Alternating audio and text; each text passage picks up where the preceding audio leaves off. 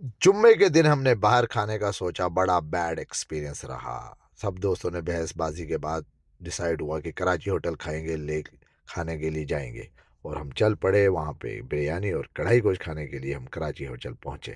ये इनका रायता देखने में तो बड़ा टेस्टी लग रहा है, मज़ेदार, लेकिन बहुत नमक था भाई, बहुत नमक था। हमें मजबूरन चेंज करना पड़ा चेंज करवाना पड़ा हमें, बहुत नमक डाला हुआ था। इसकी वजह से टेस्ट पूरा ख़राब था।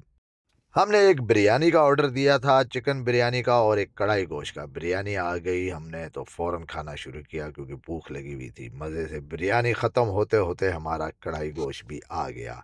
कढ़ाई गोश्त का जो एक्सपीरियंस है ना, वो एंड तक देखना पता चल जाएगा क्या हुआ था हमारे साथ। बिरयानी ख़त्म होते ही हमारी कढ़ाई गोश्त आ गई और कढ़ाई गोश्त पे तो हम टूट पड़े ना। हाँ सबने अपने प्लेट में डाला और खाना शुरू कर दिया और खाते खाते जो हुआ हमारे साथ ना कढ़ाई गोश्त में, इतना टेस्ट क्यों था वो हमें बाद में पता चला। एंड तक वीडियो देखना पता चल जाएगा तुम्हें हमारे साथ क्या हुआ जिससे कढ़ाई का टेस्ट ज़्यादा बढ़ा अब कढ़ाई खाते खाते दोस्त की प्लेट में से इतना लंबा बाल निकला, उंगली से भी लंबा बाल। खैर, हमने वेटर को बताया, वेटर बोलता है, हमने नहीं, हमारे से नहीं हुआ। खैर, अपनी ज़िम्मेदारी, अपनी कोई गलती मानता नहीं है। अब इस पे हमें क्या करना चाहिए था? बल्दिया को रिपोर्ट करनी चाहिए थी या छोड़ देना चाहिए। खैर, हमने तो छोड़ दिया लेकिन उन्होंने फिर भी अपनी गलती नहीं मानी। ये गलत बात है।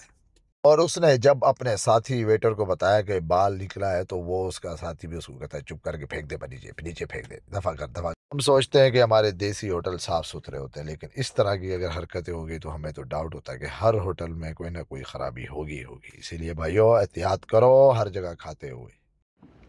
हाँ मुस्तफ़ा कढ़ाई बहुत अच्छा था। अच्छा तो था।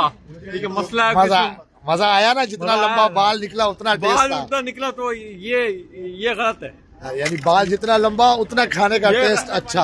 हाँ। और अच्छा बाल निकलने के बाद कोई शर्मिंदगी नहीं। कोई शर्मिंदगी नहीं कोई सॉरी नहीं कुछ कोई नहीं, नहीं कुछ नहीं। हीट की तरह। हमने तो टोपी पहनी है उसने भी टोपी पहनी है सबको टोपी पहना दो। बाल फिर किसने डाला? बाल किसने डाला? नहीं मुस्तफ़ा ने डाला है। नहीं नहीं मेरा नहीं है। फिर किसने डाला? आप लोगों का है।